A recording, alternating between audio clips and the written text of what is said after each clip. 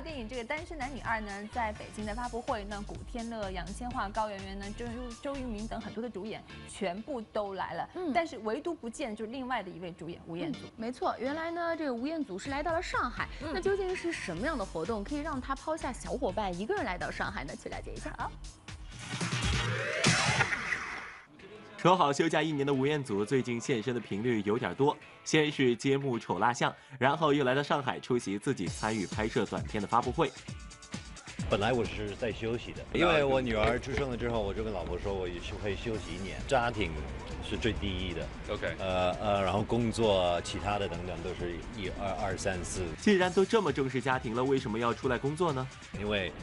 呃，将来有很贵的学费啊，呃，我也上他去 Harvard 读书啊，所以这个也很贵啊，所以我一定要努力一点赚钱吧。哎呦，原来吴彦祖也要为了生计而忙活。而建议老婆 Lisa 此前已经放话要追生二胎，作为老公更是要多赚点奶粉钱了。